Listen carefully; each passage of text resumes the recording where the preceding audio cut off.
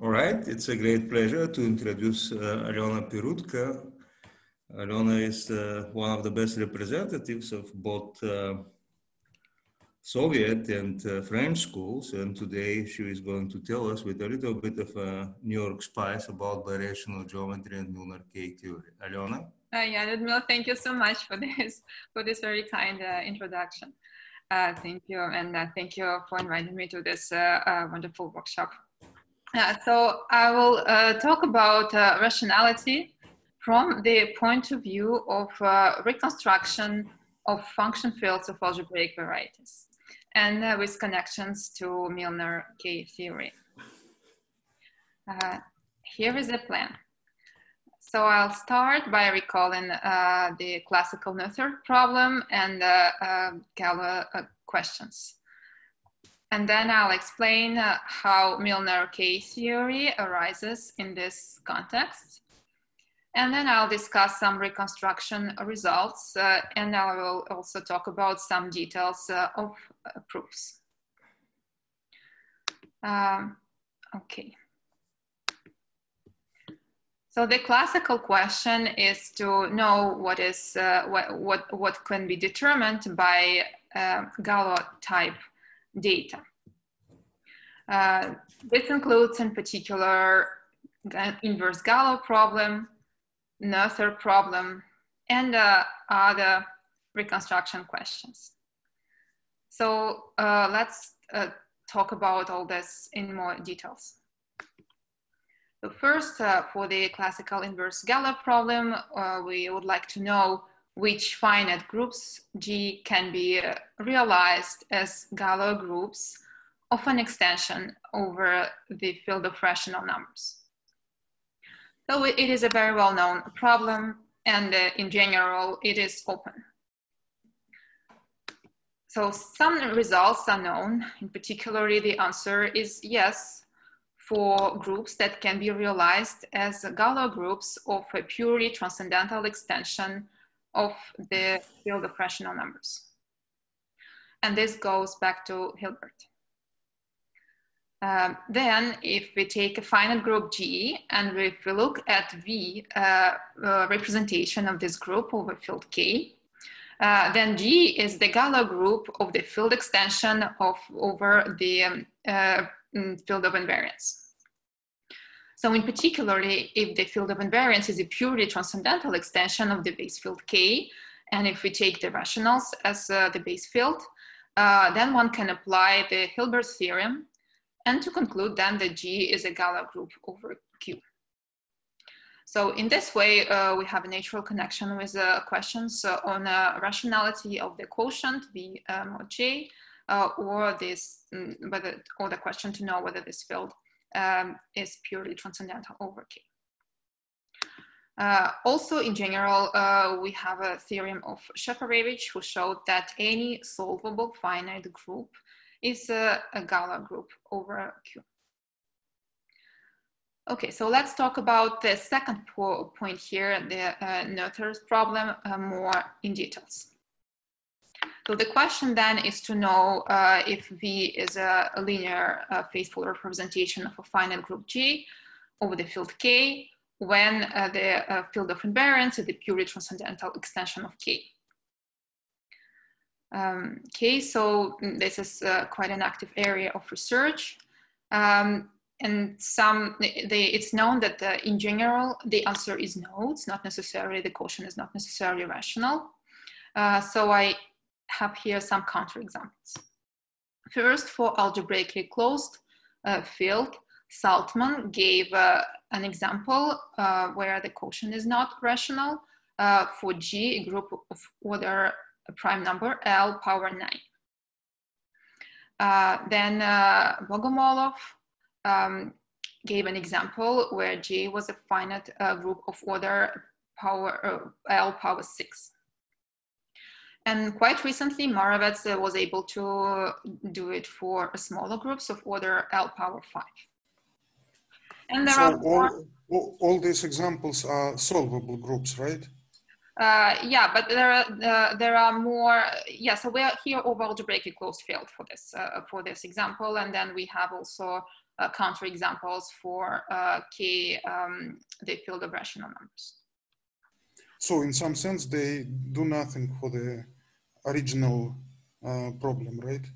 For, I mean, uh, for the yeah, inverse. so here we switch to the just to the case where we over algebraically closed field, right? Um, okay, so I also wanted to say that uh, the, um, mm, there are more examples here for uh, nonlinear actions. Uh, and just this morning, there was a, a, an article on arXiv by Hoshi, I guess, on this subject. Uh, so coming back to the question uh, of um, mm, rationality of this quotient over the field of rational numbers, uh, there are examples of Swan and Voskresenskiy, uh, where the group G is Z mod 47, and uh, also about Saltman and Voskresenskiy, where G is a finite group Z mod 8. Um, okay. Now, um, more generally, um, one is interested uh, to know how much can be um, determined uh, by the information coming from absolute Galois group of a field K. Um, or could one reconstruct the basic field from its Galois theoretic invariants? So this uh, goes back also to Anabelian conjectures uh, of Grothendieck in the context of curves, where um, the question, uh, the the questions were to recover um, from the fundamental group. Okay, so some results in this direction. Um, so let's denote GK, the absolute Galois group of the field K. So first, uh, from Artin Schreier, we know that if uh, GK is a finite and non-trivial group, then uh, we know exactly that GK must be Z mod 2, uh, and K is the field of real numbers or more generally real closed. And of course here GK, GR is uh, very easy to understand. So uh, if we look at um, the um, mm, uh, p-adic, uh, p-adic field or QP, uh, the group, the Galois group is also understood uh, but it's much more complicated. So I decided not to, to put it here. There are results by Yakovlev's, Poitou, uh, Jannsen, Wingberg, and others. Um, okay, so now more generally. Uh, oh yeah, there was also example of uh, Perlis, who showed that there are non-isomorphic field extension of, of, the field of rational numbers uh, with the same Dedekind zeta functions. So the reason I put it here is just to give you an example where this uh, local data uh, does not determine uh, the field, and the field extension of Q. Um, okay. Now, um, more generally, uh, Uchida uh, showed that uh, in the for the for the for global field, uh, the entire Galois group uh, characterizes uh, the global field. And Pop uh, generalized this to arbitrary fields. Um, so there is a group theoretical recipe to recover finitely generated infinite fields from their entire absolute Galois group GK. So I will not uh, uh, uh, give more details on this, and um, I will. Um, I would like to um, to discuss um, when uh, what can be uh, what can be reconstructed from uh, not from the entire Galois group GK, but from some partial information. So in this previous results, uh, um, okay, one can uh, get the field K from the entire uh, group GK. But often it is too large and difficult to understand. Uh, so instead then uh, one would like to look at maybe a much smaller uh, uh set of data uh, and this set of data will be encoded in this GC defined below. Um, so let's look at L, at, at let's take L prime different from characteristic of K. and consider a pro-L completion of the absolute Galois group GK, look at abelianization and the canonical central extension. Uh, so the Bogomolov anabelian program is to determine the field K from GA and GC, so from this smaller amount of data. And there are reconstruction results for finitely generated fields over, uh, particularly over FP bar, the algebraic closure of a finite field by Bogomolov, Tschinkel, Pop, Topaz, and others. Uh, so uh, I just want to comment on this uh, construction of GA and GC. So in the case when G is a finite group, this, um, like looking at the abelianization and the canonical central extension uh, appeared uh, in a, a, formula by Fyodor Bogomolov to compute the uh, unramified Brauer group for a quotient uh, um, V mod G, where V is uh, um, a, a, linear representation of G. So I just want to uh, give uh, two comments. Uh, so first one is about this unramified Brauer group. Uh, it is a birational invariant, uh, and um, recently it was used um, a lot uh, in the context of specialization method uh, to establish uh, non-stable rationality for varieties. So this, um, so uh, as a connection to uh, lectures by Claire um, this morning. Uh, then also um, the questions to know if the, the, the, the, quotient here is um, rational varieties and active area, and there are still uh, many open questions there. Uh, so there are also new invariants uh, mm, that um, mm, are being developed by uh, Kresch and Tschinkel uh, uh, based on, um, I guess, the so-called equivariant Burnside group. And this could also be potentially invariants to understand the rationality of this quotient emoji. Um, okay, so um, this somehow provides a connection of this uh, um, um, of this setting where you have GA and GC uh, to uh, other problems in uh, uh, rationality and other invariants. Uh, so why it is important for us? well, because we will be interested um, in the reconstruction from K theory uh, and the K theory K1 and K2 could be viewed as discrete analogs of this GA and GC. Okay, so now uh, let me introduce then this uh, uh context um, um, of Milnor K theory and the reconstruction from it. Um, okay, uh, so I just recall that if F is a field, then we have uh, the Milnor K ring, uh, where you look at symbols uh, um, uh, and in um, just invertible elements in the field. Um, and you have one relation, um, one relation of this type in degree two. a, one minus a, this symbol is zero. Um, so we will view it as a discrete analog of the reconstruction from Galois data. So I put just one example for K1. Uh, K1 here is just the, uh, the, multipli the multiplicative group um, of F, so uh, invertible elements in, in the field. Now, on the other hand, if you have the Galois group, then you can look at Galois cohomology.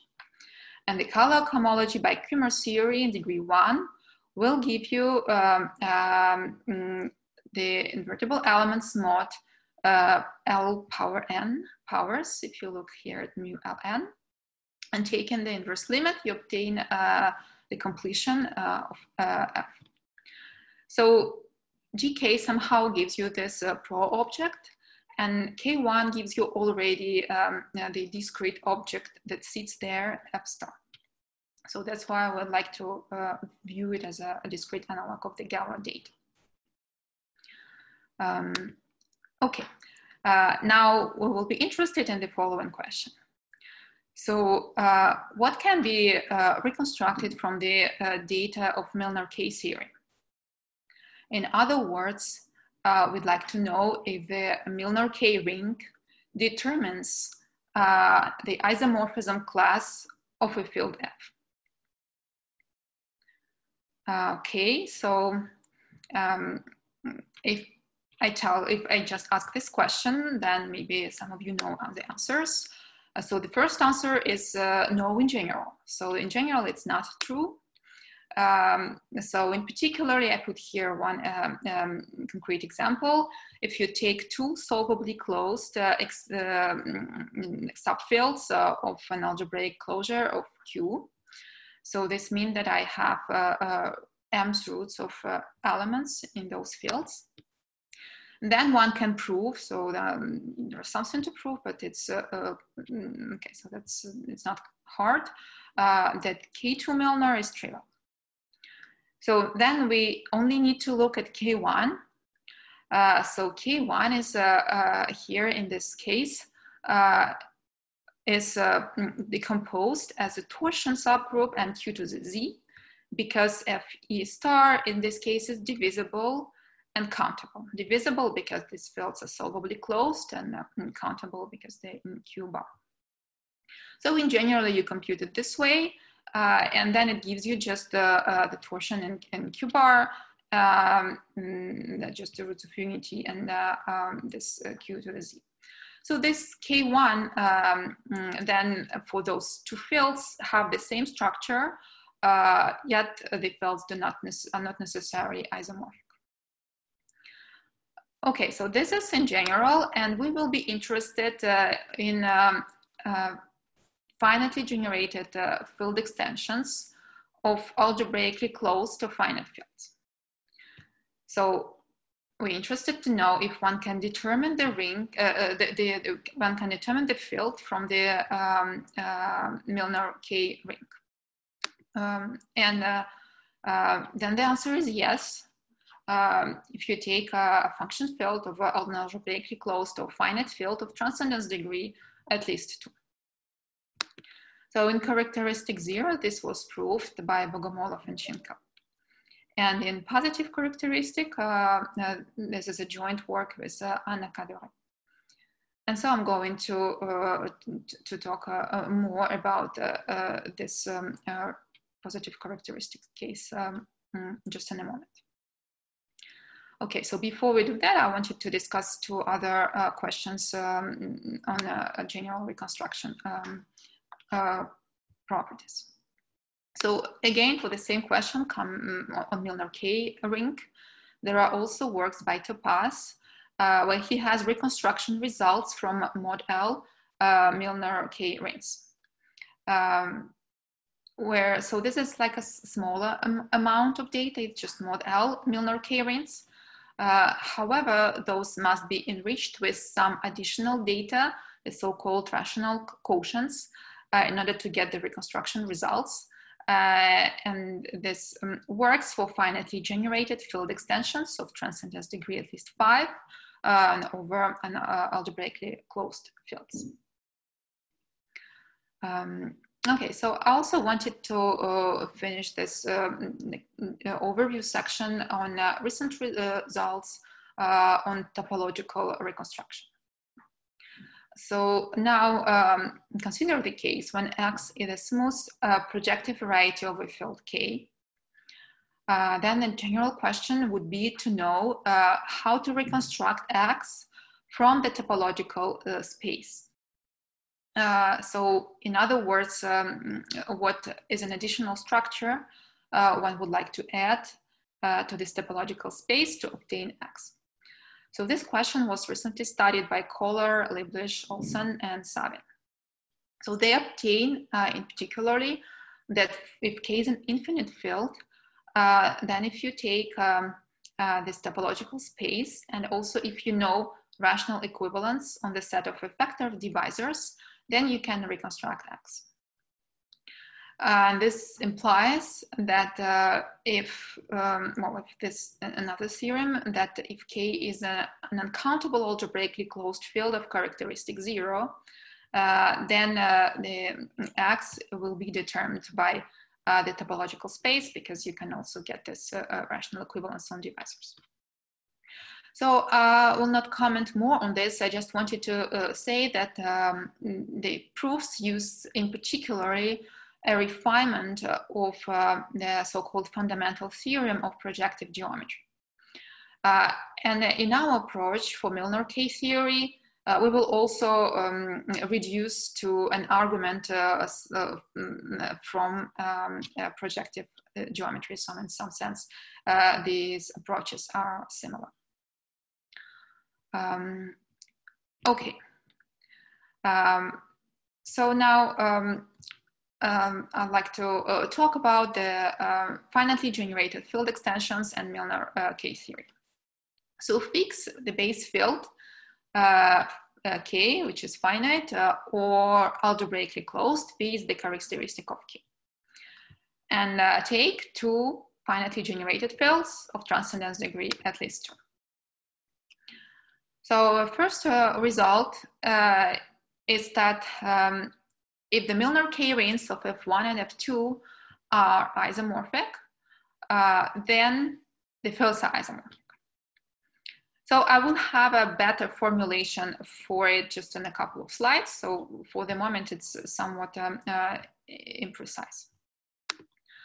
Um, anyways, so if we would like to, um, to, to define phi, uh, it's a map between the Milnor k-rings, uh, um, then we just need a map between K1, so just the multiplicative groups, and a map between K2, uh, which is compatible with the multiplication, uh, which, uh, okay, from K1, K1 to K2.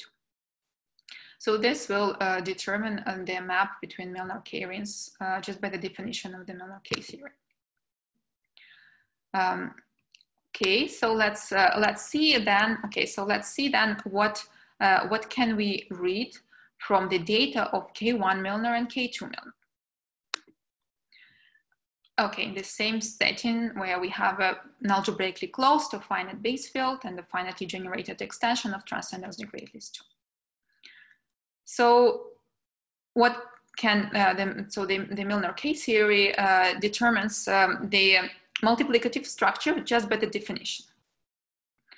Uh, now, in order to determine the field, uh, what remains is the additive structure, right? So we know the multiplication and then, uh, so how to determine the additive structure. And now the, the crucial, uh, the, the, crucial um, information that is encoded in K2 Milnor uh, is the algebraic dependence over the base field. And this is uh, really why uh, K2 Milnor is um, useful for the reconstruction questions. And this is algebraic dependence is uh, what uh, will allow us to reduce to an argument from a classical projective geometry late. Okay, so let's see uh, how, uh, how we can obtain this algebraic dependence from K2. Um, okay, so this is mm, okay, so we, will discuss this, and read it, the, uh, uh, the technical mm, mm, heart of the proof. and then, as I said, we will do um, um, we'll recall an, an, argument from classical projective geometry um, to say that uh, the uh, multiplicative structure and lines uh, determine the field. Okay, so this is a, a, sketch of, uh, of, of, this uh, theorem on reconstruction from Milnor K-theory. Um, so it, at the end, the arguments are um, quite elementary, but uh, uh tricky. Uh, quite elementary in this two, uh, two last steps, and the algebraic dependence actually uses deep results. So we'll do this first. Uh, so first, uh, we um, mm, okay assume that somebody uh, gave you the multiplicative group of f, um, and you know also that uh, f uh, is of this type. It's a, finitely generated extension over an algebraically closed or finite. So you only know this, and now um, you you wondering how to find how to find the field of constants.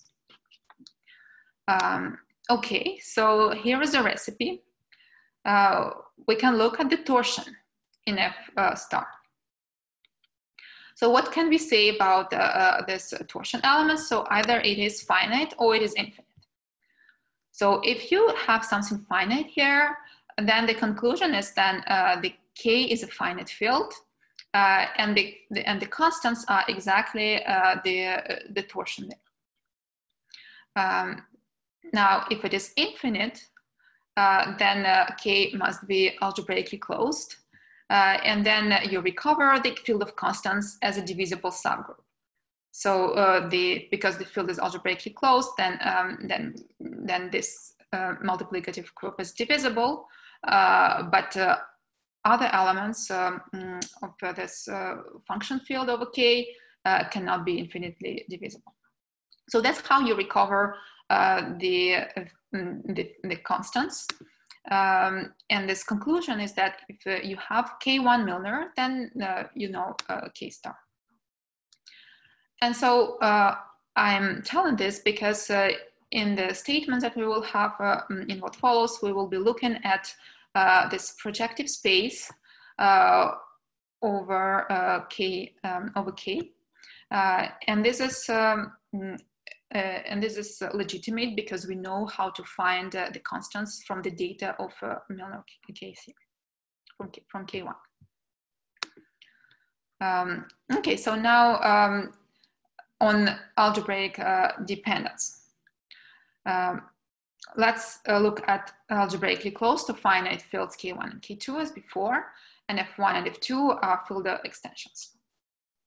Uh, then uh, we need the following definition. If I have a, a map between projective spaces over K1 and K2, we say that it preserves algebraic dependence uh, if two elements in the source are algebraically dependent if and only if their images in the target are algebraically dependent.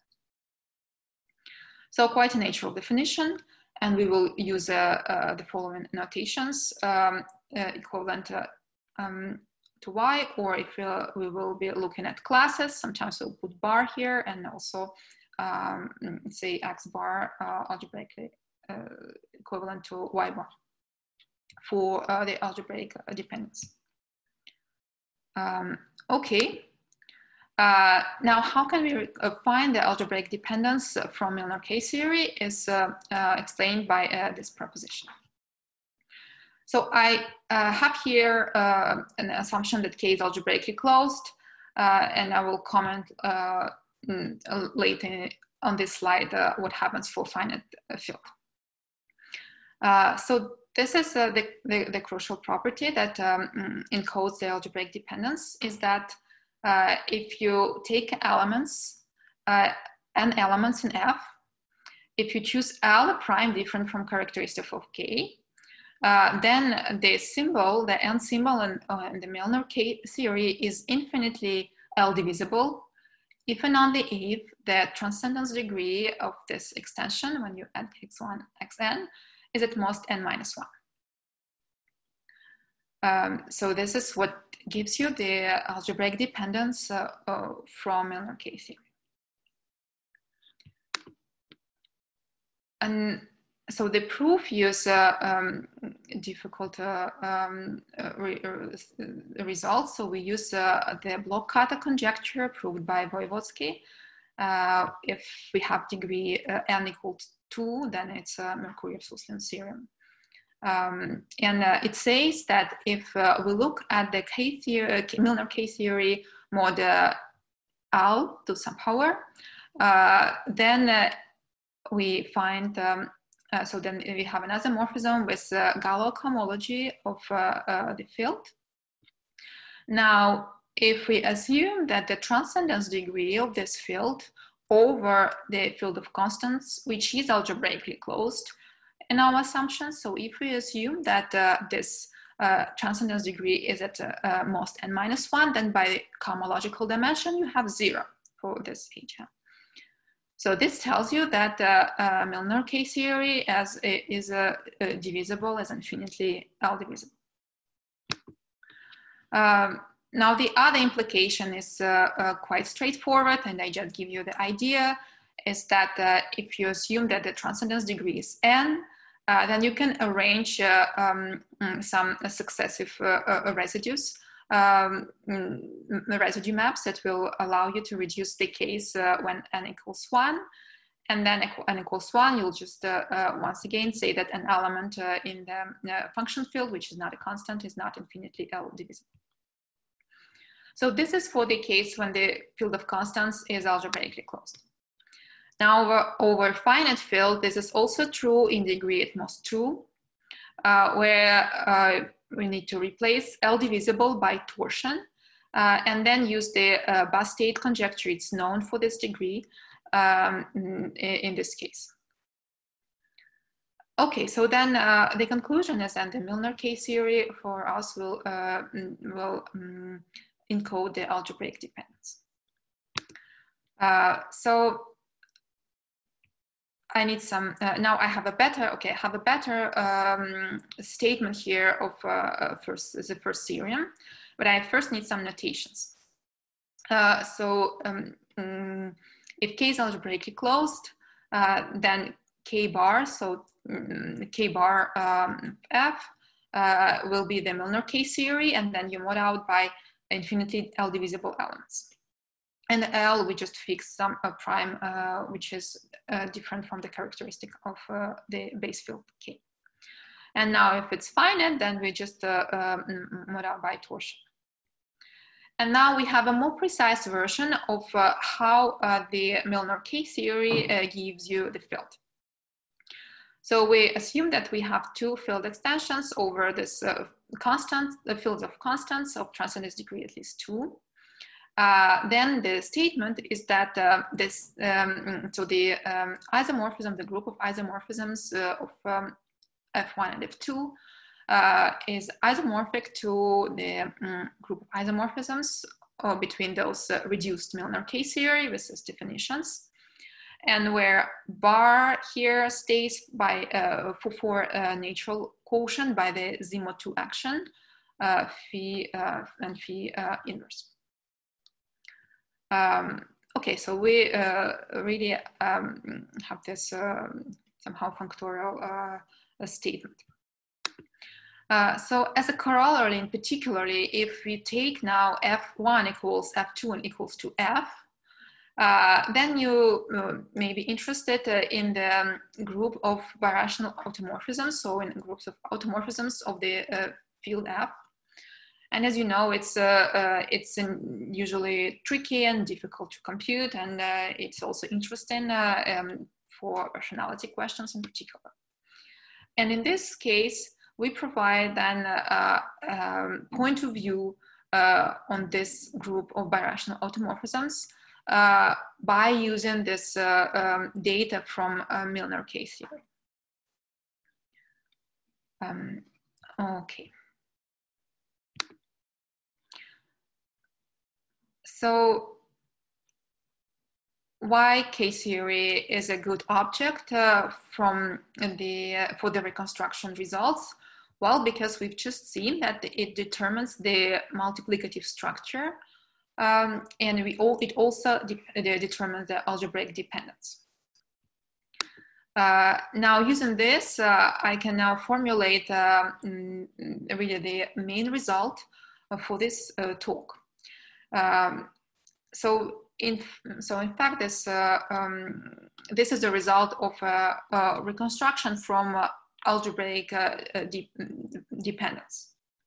So same uh, fields F1, F2, um, then uh, the group of isomorphisms is the isomorphic to the group of isomorphisms of this projective spaces over the fields of constants um, that preserve algebraic dependence.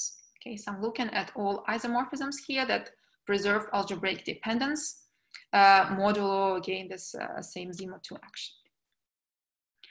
Um, okay, now, uh, I'd like to comment that uh, it's a more general result. It holds uh, more generally, when you take regular finitely generated field extensions um, of similar transcendence degree at least two, so it's not ne necessary here for this second theorem that the fields of constants are algebraically closed or, or finite. Uh, this condition was important uh, in order to recover the algebraic dependence uh, from the Milnor-Casey.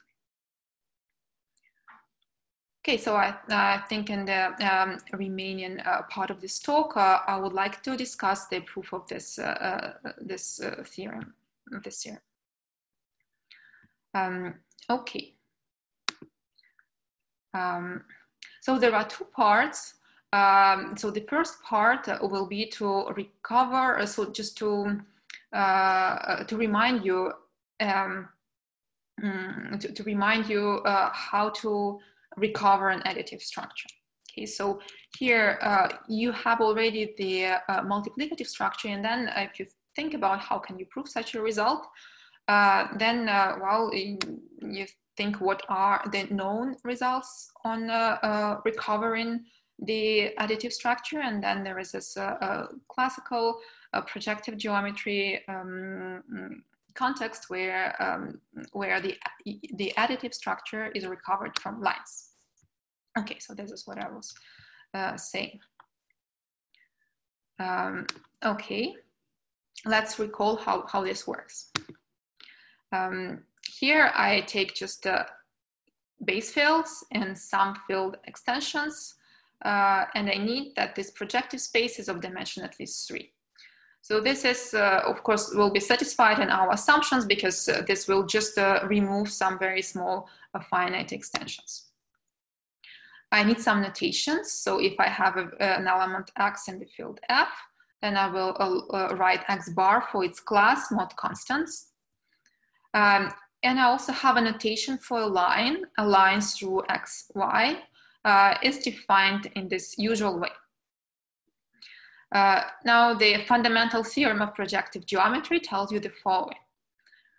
If you have a group isomorphism uh, between uh, this uh, multiplicative uh, groups that preserves lines, so for any line in the source, there is a line in the target, which is the image of this first line. Then there is a unique isomorphism uh, of fields uh, that induces this isomorphism of uh, multiplicative groups, and this which also induces an isomorphism on um, on the group on the constants. Okay, so this is something that can be covered in, uh, you know, in the in the graduate algebra class, and uh, uh, and I just want to give you some idea of how, how, do you how do you prove such a result. Um, so it is um, uh, an explicit construction, uh, which, for example, works uh, as follows. So you want to define um, a map, a lift, capital phi. So for example, take an element which is a, not a constant. Then look at the line through one and this element.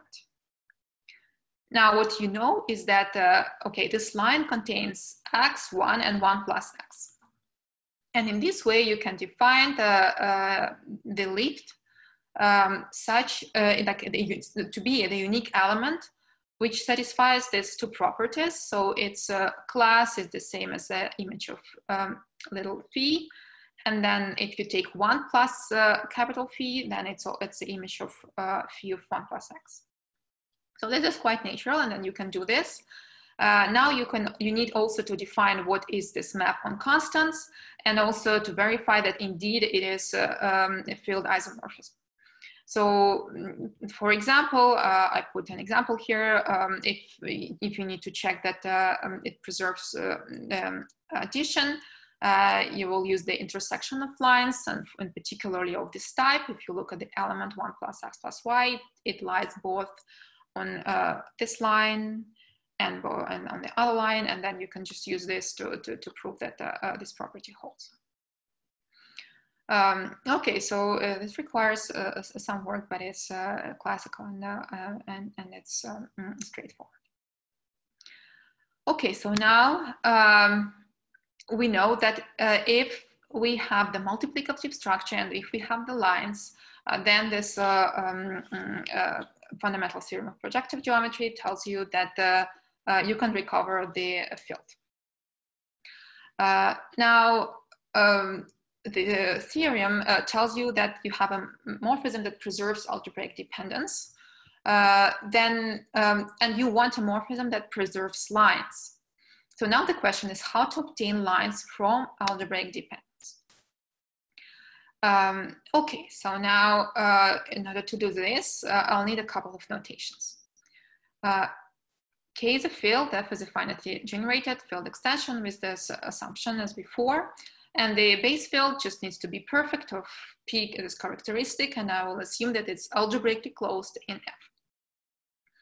Uh, so for an element uh, in this field F, I will uh, use this notation for the algebraic closure uh, of uh, non-zero elements in K of X in, um, in, in, the field F.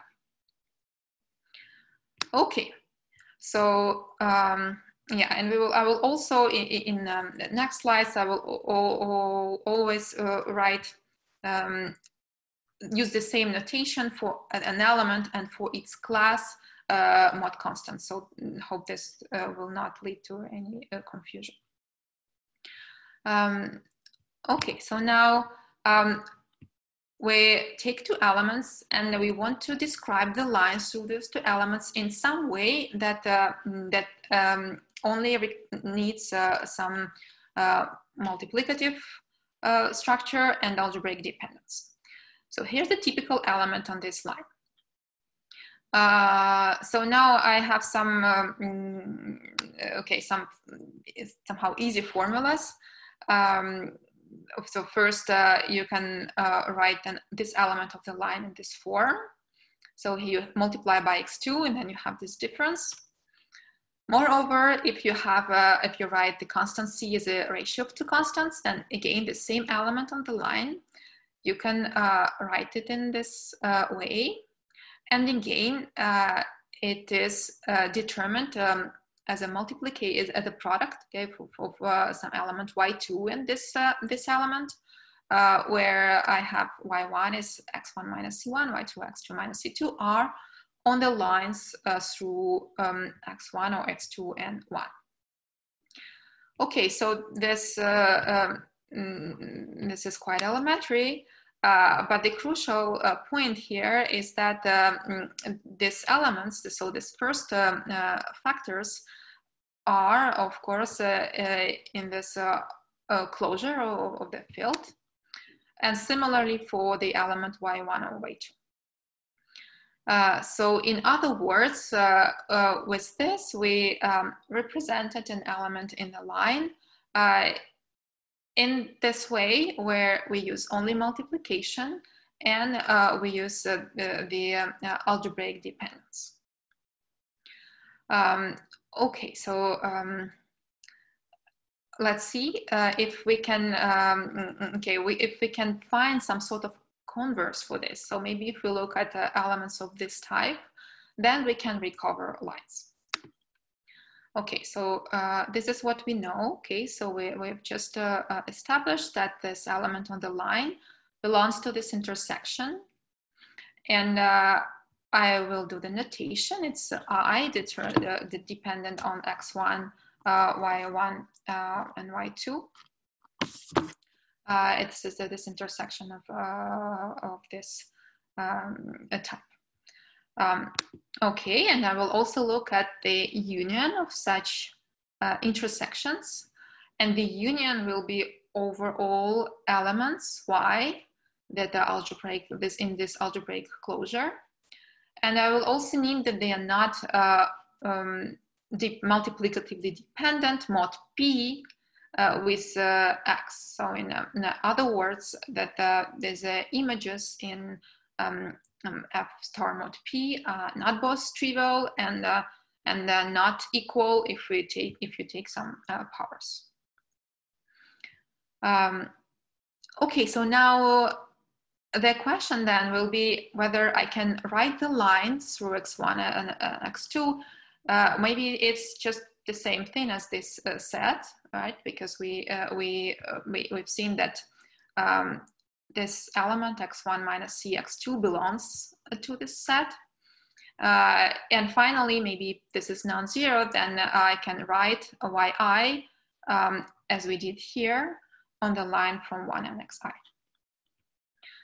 Um, okay, so this is uh, our uh, mm, dream uh, lemma. So you were wondering whether with these notations where we have j and i de determined only in terms of uh, um, uh, of um, algebraic dependence and uh, multiplicative structure, what they determines the line. So if you have two elements, x1 and x2, then for any element in the set, uh, you can write it as um, some constant times x1 minus constant x2, so on the line. And okay, you have these expressions for yi. Okay, so this is uh, uh, what you uh, can hope to obtain. And this is what you get. Uh, so in general, um, there are more things that uh, mm, you uh, need to take into account. So first, you can only uh, look at the so-called good pairs. I will define it uh, just in a moment. next, you cannot recover the lines, but you can recover them only up to some m powers where m is an integer that that does satisfy some, uh, some assumptions. So m is either 1 or minus 1 if the characteristic is 0 or 2. Uh, and m is um, between 1 and p minus 1 uh, uh, over 2, the absolute value of m, uh, if uh, p is greater than 2. Um, okay, so you can only recover the lines, um, the, the m's powers of lines. Um, and then you also need, so this, this is constant alpha. It's not a constant in the base field, but it is in a, a p power in this algebraic closure. Uh, similarly for this constants ai, the p powers and this algebraic closure. Uh, and also you need uh, uh, some p powers of the ratio of x1, x2, or xi. Uh, so I should say that the idea uh, to represent lines at these uh, intersections uh, of uh, multiplicatively shifted sets here is an idea of Bogomolov and Tschinkel. They proved that for the case of zero characteristic. in positive characteristic, there are more subtleties that come from the properties of differential forms in positive characteristics and that uh, that's why in particularly you have many p powers uh, that um, arise here. Uh, okay, so now I think I'll, I will um, uh, I will comment on what is a good pair and then how to use this uh, uh, this lemma then to recover to recover the lines and, um, and okay so and to prove theorem two. Uh, so it's a good pair if the first element is regular, um, which means that x1 is transcendental of the base field, and then the extension k of x1 um, is a subfield of f, is a regular field extension. Uh, and uh, we also need that the differential forms uh, here are linearly independent over f. Uh, so it's not a big restriction though. Uh, so it can be shown by using a, a Bertini type of argument that if you start with an element which is not a p power, because otherwise you, the, the, you will have zeros. But so if it's not a p power, then you can always uh, uh shift um, uh, by an element y uh, to obtain a good pair. Okay, so, so this is uh, mm, mm, mm, finally not such a big restriction. Um, okay. Um, okay, so now we are ready to, uh, to uh, discuss the proof of uh, theorem two. So I recall the statement here. Uh, so we want to prove that the um, group of isomorphisms of fields can be um, understood by this uh, isomorphisms preserve, mm, an algebraic dependence. Um, okay, so the first step, so we call it, we call it descent one, um, is to uh, take a map that preserves algebraic dependence and then uh, deduce that for a map that is in uh, that is in, induced for the for the induced map mod p, uh, there exists some integer m such that um, the m's power of this map phi uh, preserves the lines. Okay, preserves the lines also over the uh, p powers of the first field and the second field. Um, okay, so a from uh, okay, so if we take this map phi, we cannot uh, directly um, um, prove that phi itself preserves lines uh, because of this additional complexity in the lemma. So we can only do it mod p and only for some m's power.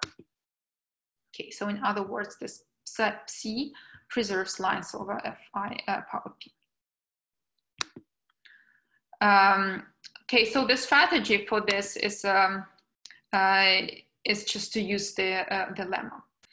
Um, okay, so this is what we want to prove, um, and I just have, I guess, the uh, three steps. So I'm going to display them. Uh, you'd fix two elements, and then you can assume that uh, the the images is a good pair. Uh, this is just because you can shift by um, an inverse image of an element which gives you a good pair in the target. Now what is important is that the description in the lemma is only in terms of the algebraic dependence and the multiplication and multiplicative structure. So we, in particular, if you take uh, the line over F1P, uh, um, then uh, okay, it's, it's uh, this multiplication and algebraic dependence are preserved by the map phi.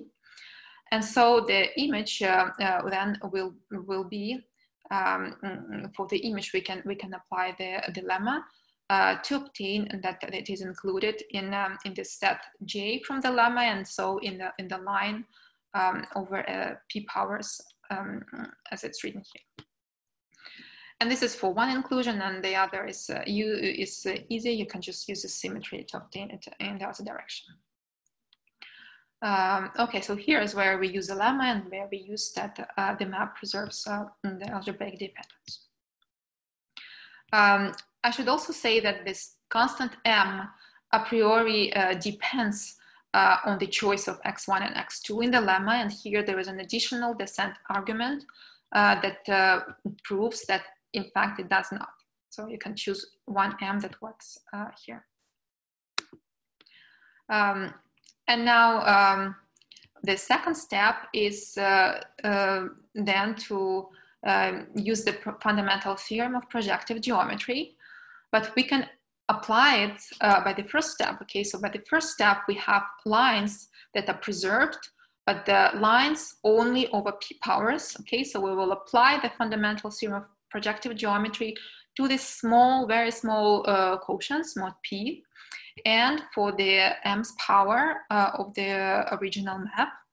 And then this gives you uh, the unique field isomorphism that, uh, mm, that um, mm, uh, lifts uh, this map phi bar m.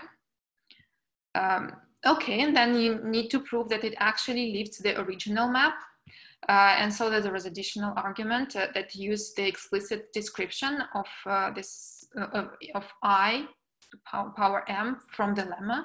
So this additional descent step uh, will show that m is plus or minus one, and that, and then and that that um, okay, so you indeed you recover phi. So this this map is trivial, which is uh, the eventual difference between um, uh, between this. Um, okay, so this um, allows you to uh, to prove then the uh, theorem. So this gives you the surjectivity, okay, because we proved that any uh, map, uh, any um, group morphism that preserves uh, dependence can be lifted. And the injectivity is straightforward from the uniqueness um, from projective geometry and also because if you um, so here a priori we could not distinguish between uh, phi and its inverse however if you lift it then you can say that uh, um, mm, that uh, phi and phi minus one cannot be both fields uh, field isomorphisms And so there is only one that works, and this, this uh, approves um, the statement of the theorem. Um, okay, so I think I, I have five minutes, uh, and I just wanted to uh, just display uh, some uh, details on how to prove this uh, um, uh, technical lemma.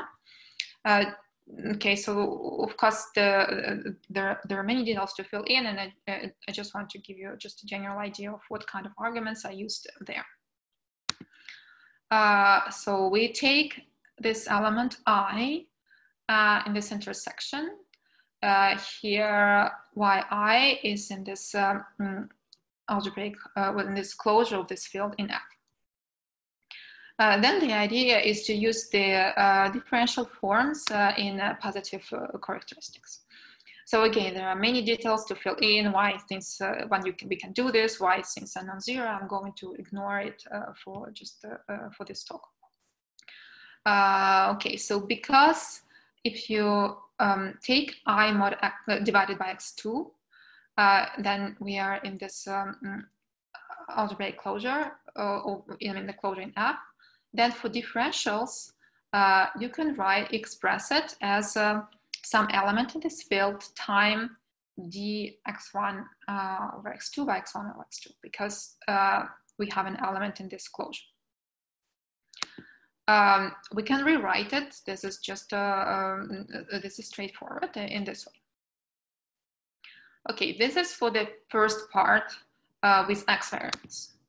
Now we can do the same thing for y variables um, and have the same expression.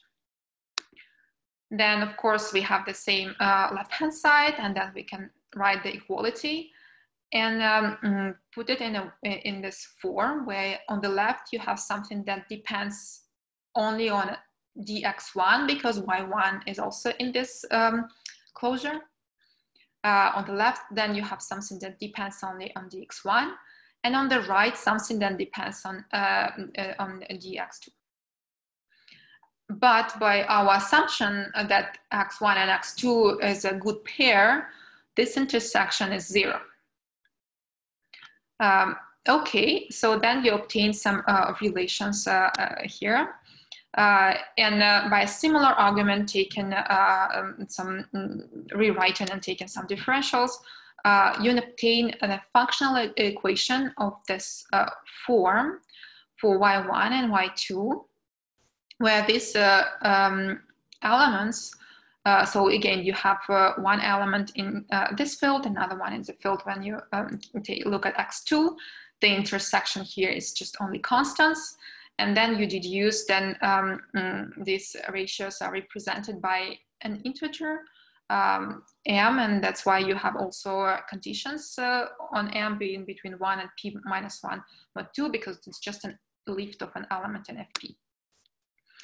Uh, now you have uh, these equalities, and then if you look at that, for example, f1 over 1 minus f1 here, then you can just rewrite it, just, just rewrite this, uh, this fraction as uh, in this form.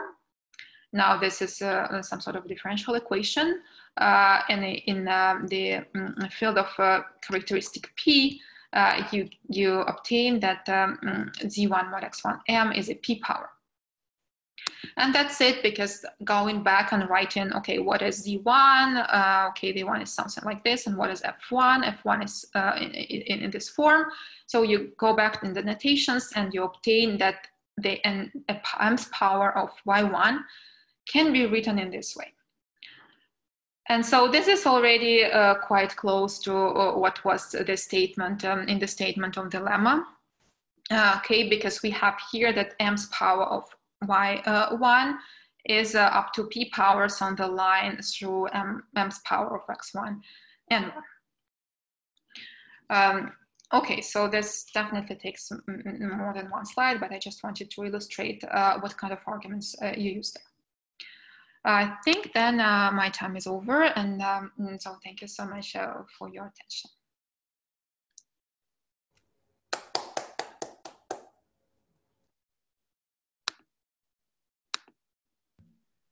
Any questions?